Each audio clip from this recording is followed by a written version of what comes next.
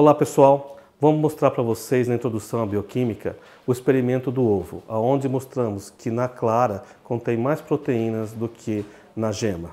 Para isso, nós quebramos um ovo e mostramos aqui para vocês. Vocês têm aqui a gema e a clara. E nós vamos adicionar um pouco de álcool no, na clara mesmo. A hora que você adiciona, ela vai rapidamente reagindo as proteínas com o álcool e começa a precipitar e gelatinizar todas as proteínas, parecendo aquele aspecto de um ovo cozido.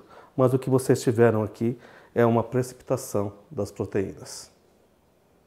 Pessoal, espero que tenham gostado. Muito fácil provar para vocês a existência da proteína e estudem bastante esse capítulo de introdução à bioquímica. Espero que vocês gostem de toda a disciplina. Obrigado.